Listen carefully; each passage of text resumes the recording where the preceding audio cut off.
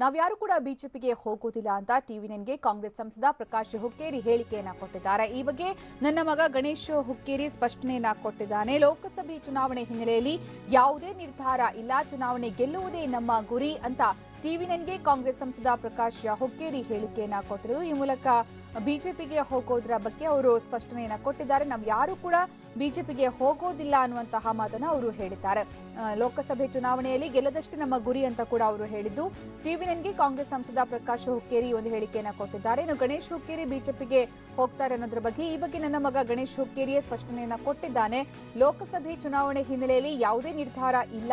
ಚುನಾವಣೆ ಗೆಲ್ಲೋದಷ್ಟೇ ನಮ್ಮ ಗುರಿ ಅಂತ ಟಿವಿ ನನ್ಗೆ ಕಾಂಗ್ರೆಸ್ ಸಂಸದ ಪ್ರಕಾಶ್ ಹುಕ್ಕೇರಿ ಹೇಳಿಕೆಯನ್ನ ಕೊಟ್ಟಿದ್ದಾರೆ.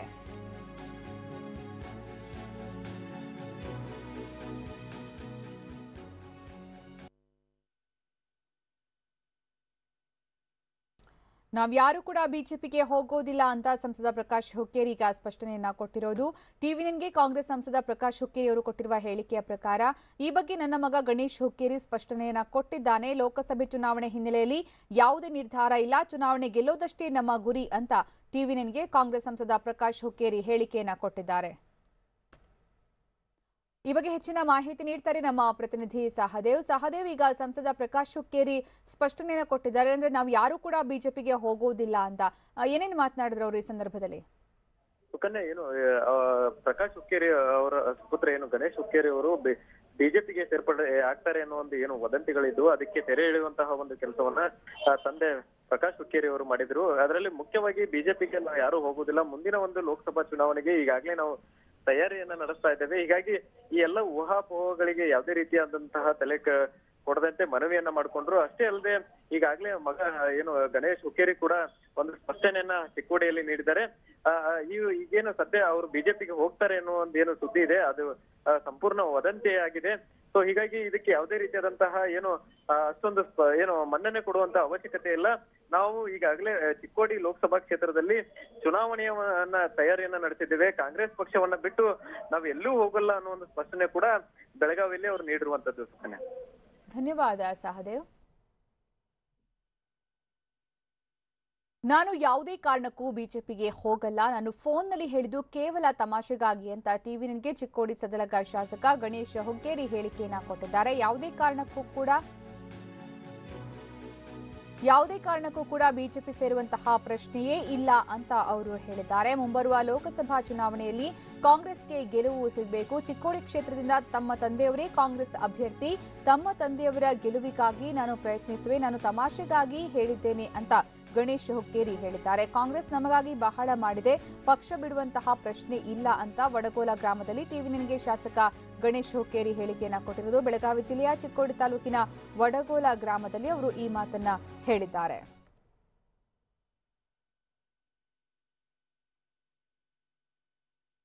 ನಾನು ಯಾವುದೇ ಕಾರಣಕ್ಕೂ ಬಿಜೆಪಿಗೆ ಹೋಗೋದಿಲ್ಲ. ನಾನು ಫೋನ್ನಲ್ಲಿ ಹೇಳಿದ್ದು ಕೇವಲ ತಮಾಷೆಗಾಗಿ ಅಂತ. ಟಿವಿನಿಗೆ ಚಿಕ್ಕೋಡಿ ಸುತ್ತಲಗ ಶಾಸಕ ಗಣೇಶ್ ಹುಕ್ಕೇರಿ ಹೇಳಿಕೆಯನ್ನ ಕೊಟ್ಟಿದ್ದಾರೆ. ಈ ಬಗ್ಗೆ ಹೆಚ್ಚಿನ ಮಾಹಿತಿ ನೀಡ್ತಾರೆ ನಮ್ಮ ಪ್ರತಿನಿಧಿ ಚಂದ್ರಶೇಖರ್. ಚಂದ್ರಶೇಖರ್ ತಮಾಷೆಯಾಗಿ ಗಣೇಶ್ ಹುಕ್ಕೇರಿ ಹೇಳಿರೋದೇನು ಮತ್ತೆ ತಮಾಷೆಯಾಗಿ ಹೇಳಬೇಕಾದಂತಹ ಅವಶ್ಯಕತೆ ಏನಿತ್ತು ಈ ಸಂದರ್ಭದಲ್ಲಿ? ಮತ್ತ್ಯಾಕೆ ಸ್ಪಷ್ಟನೆಯನ್ನ ಬೇರೆ ಕೊಡಬೇಕು?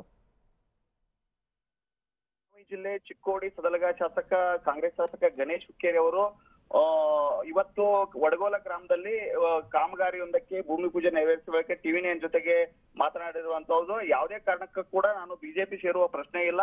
ನಾನು ಹೇಳಿದ್ದು ಕೇವಲ ತಮಾಷೆಗಾಗಿ ಹೇಳುತ್ತ ಹೇಳಿರುವಂತದ್ದು ಇದಕ್ಕೆ ಯಾವುದೇ ಅರ್ಥ ಕಲ್ಪಿಸುವ ಅವಶ್ಯಕತೆ ಇಲ್ಲ.